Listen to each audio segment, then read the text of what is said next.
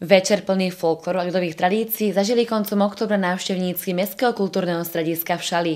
Na pódiu vystúpili so svojimi tancami a piesňami nielen miestne folklórne súbory. Zlatým klincom večera bolo predstavenie tradičného šalianského ľudového odevu.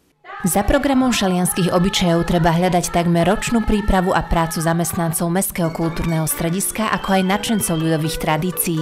Je za týmto ročná práca, najmä teda pracovníkov MSKS, ktorí sa teda podujali, že tieto šalianské obyčaje treba nejak oživiť, e, oživiť šalianský kroj a vôbec teda dostať to medzi, medzi obyvateľstvo. Vyzdvihnúť si určite zaslúži aj úsilie dostať na jedno pódium niekoľko folklórnych súborov a ukázať tak divákom, ako pracovali, ale popri tom sa vedeli aj zabaviť naši predkovia.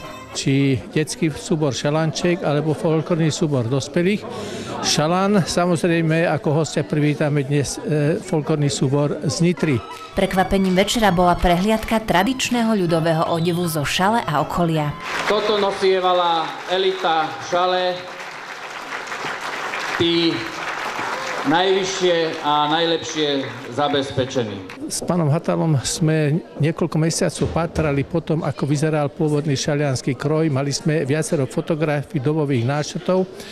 Napokon sa ho podarilo nájsť v depozitári vlastného múzea v Galante.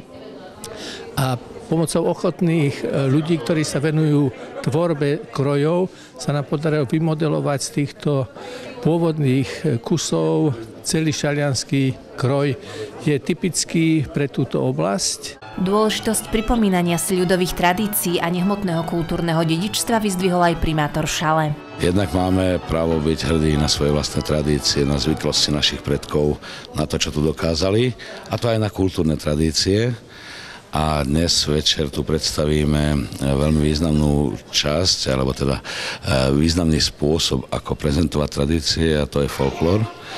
A konečne sme dospeli do bodu, kde predstavíme šalské kultúrne zvyklosti, šalský folklór v šalských krojoch a budú ho prezentovať naši miestni malí dospelí umelci.